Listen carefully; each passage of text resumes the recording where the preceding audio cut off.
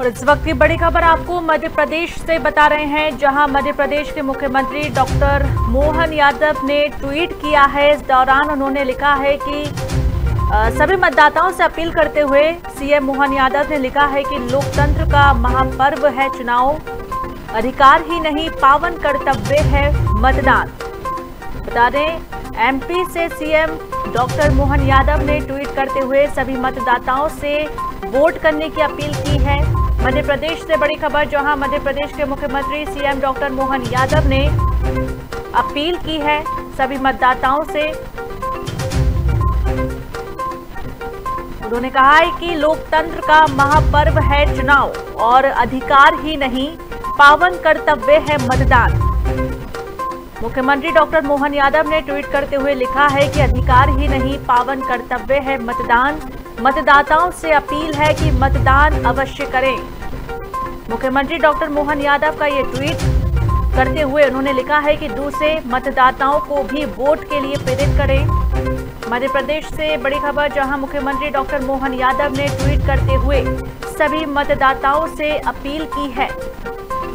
उन्होंने कहा है कि लोकतंत्र का महापर्व है चुनाव। और साथ ही लिखा है कि अधिकार ही नहीं, पावन कर्तव्य है मतदान।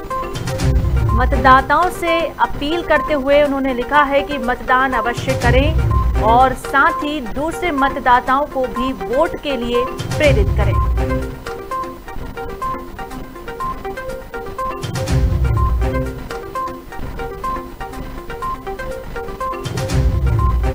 तस्वीर में आप देख सकते हैं जहाँ डॉक्टर मोहन यादव, मध्य प्रदेश के मुख्यमंत्री का ये ट्वीट है, जहाँ उन्होंने लिखा है कि लोकतंत्र का महापर्व है, चुनाव अधिकार ही नहीं, पावन कर्तव्य है मतदान।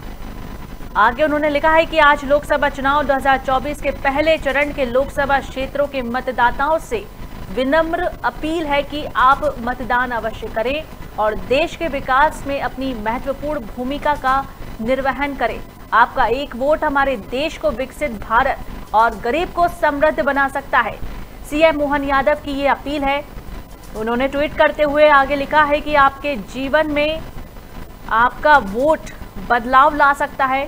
स्वयं वोट करें और दूसरे मतदाताओं को भी प्रेरित करें।